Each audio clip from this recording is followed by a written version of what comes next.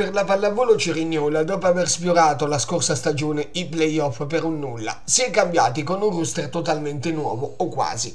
La riconferma della storica capitana Margaret Altomonte, il ritorno di Maria Grazia Simeone a riprendere e completare un percorso interrotto causa coronavirus. Poi l'arrivo di un nuovo tecnico, Francesco Sgarbi, che ha fatto capire di Cappastae il suo metodo di allenamento. Poi Colucci, Gervasi, Pettinari, Adorni, Martinelli, Raffaele, i nomi nuovi che proveranno insieme ad altre squadre a tentare l'assalto alla Serie A2 nazionale. Il primo impegno sabato 7 ottobre al Paladileo contro la formazione della Cabata Matese Caserta che secondo i rumors potrebbe essere fra le squadre protagoniste per l'assalto all'Al 2.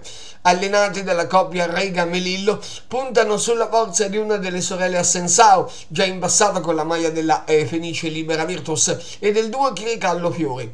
Per la capitana della pallavolo cirignola Margaret Altomonte sarà una gara tosta e difficile.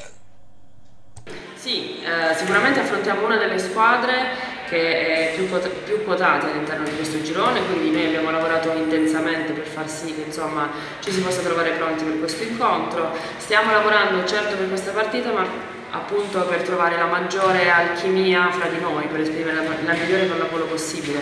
Per cui stiamo, stiamo lavorando intensamente, il lavoro premia sempre e continuiamo su questa strada.